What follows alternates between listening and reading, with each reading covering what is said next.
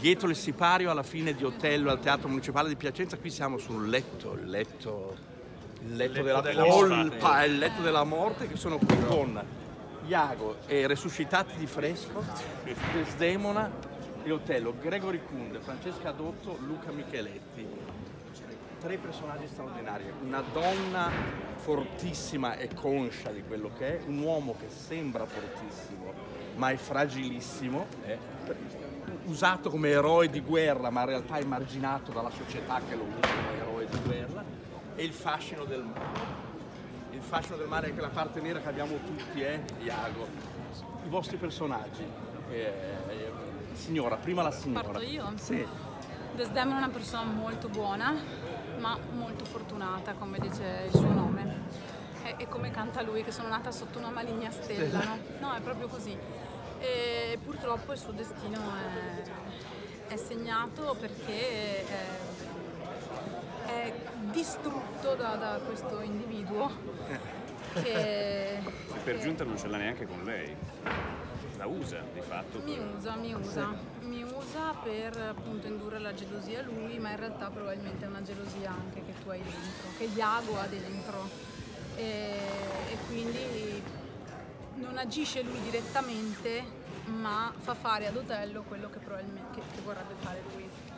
E in tutto questo io eh, atto dopo atto divento sempre più consapevole di quello che mi accadrà, ma eh, sono forte della mia onestà d'animo ed è questo che mi dà la forza di continuare fino alla fine anche e di attendere eh, Otello da sola, perché in qualche modo io penso che questa mia onestà, Perché questa mia sai- bontà, tu perché sai io chi lo sei. so, Eh. io so chi sono e so la purezza del mio cuore, la conosco e penso che questo mi salverà, ma purtroppo non basta. Ahimè. E il, Esattamente cosa ha detto lei. è il, il Moro. No, il Moro Quasi che Moro. Era, era felicissimo con, con l'amore di Desdemona, certamente è ritornato da- dalla guerra. Noi completamente innamorato e con una- un geme di gelosia succede questo cammino di- della morte di lui.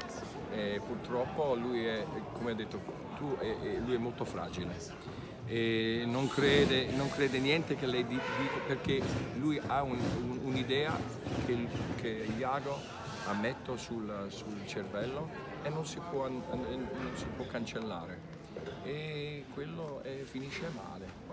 E la fragilità si distrugge. Gregor Kunde è uno dei pochissimi artisti che ha fatto entrambi gli otelli. eh. L'Otello di Rossini e l'Otello di Verdi. Quale ti porta più? Alla fine ti lascia più stremato? Quale di questi due ti lascia più stremato? No, guarda, e la, musica di Verdi è un'altra cosa e la dramma è molto molto più di- eh, diverso. Sì. Quello di Rossini è, è tutto della musica. È tutto della E musica. Certo, la dramma è lì, però è, è un- un'altra cosa. Quello di Verdi diventa un attore, un qualcuno che bisogna capire tutte le parole di tutti. eh. Eh, E allora eh, quello, quello secondo me è una- un, un- un regalo questo, questo ruolo. E a proposito di attore, voi sapete che abbiamo qui un artista dalle multi- dai multiformi volti. Iago invece Eh, La cosa più terribile di Iago probabilmente è che noi non sappiamo perché fa tutto quello che fa. Odia Otello, ma c'è un odio troppo potente perché sia semplicemente causato da una rivalità tra soldati.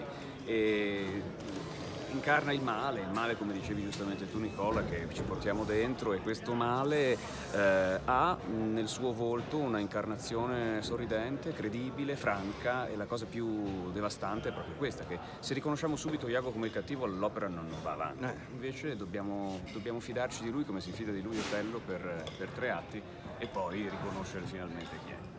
Ti piacerebbe farlo anche in prosa? Molto. Molto. Anch'io. Anche a te. Però voglio fare Iago. Prossimamente dove sentiamo Gregory Kunde, Francesca Dotto e Luca Micheletti? Dopo questo hotel. Dopo questo hotel, eh, sì. quello che quando finisce Otello Sì, a Reggio Emilia, sì. ma io adesso domani vado a casa Sì. per Natale, per Capodanno e poi siamo a Modena, sarà a Sì. Reggio Emilia, poi Hamburgo per eh, Peter Grimes. Gran ruolo anche Eh, certo. Francesca? Io a Venezia per la Maria Egiziaca di Respighi. Ah, questa è una- proprio una rarità, con la regia di Pizzi, giusto? Pi- Luca? Torino, un ballo in maschera. Un ballo in maschera, insomma. Per chi ama questi artisti non, ci sono, non mancheranno occasioni di, se- di seguirli. Io vi saluto e ringrazio questi straordinari interpreti di Otello. Ciao!